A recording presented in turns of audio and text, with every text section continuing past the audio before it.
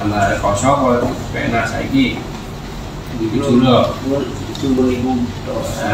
Kasus kematian balita di Dukuh Sajen, Desa Guli, Kecamatan Nogosari, Kabupaten Boyolali, masih dalam proses penyidikan Polres Boyolali.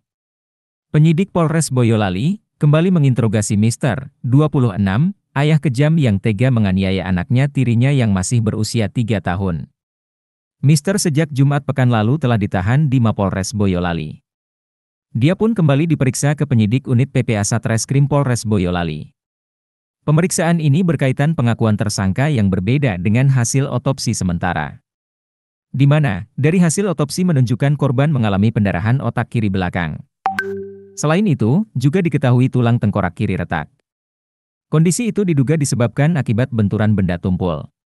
Dari hasil pemeriksaan diketahui terdapat pendarahan pada otak kiri dan retak pada tengkorak kepala kiri akibat kekerasan benda tumpul, kata Kapolres Boyolali, AKBP Petrus Parningotan Silalahi, Senin, 29 Januari 2024. Kondisi itu sangat jauh berbeda dengan pengakuan tersangka. Tersangka mengaku hanya membenturkan kepala bagian depan ke pintu. Kepada penyidik, Mister bersikukuh tak memukul atau membenturkan kepala bagian belakang korban.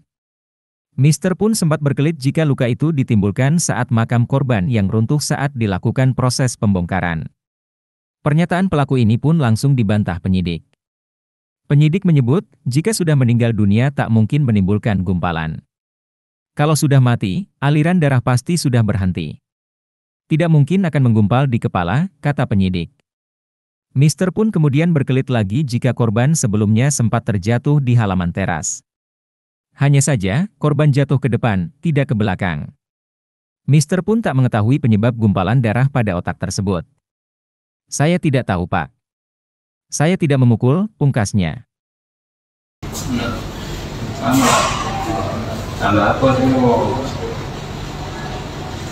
eh mas tahun kok tambah kok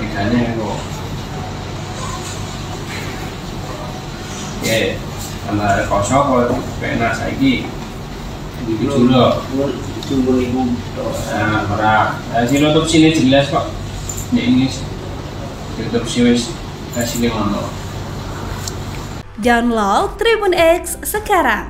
Menghadirkan lokal menjadi Indonesia.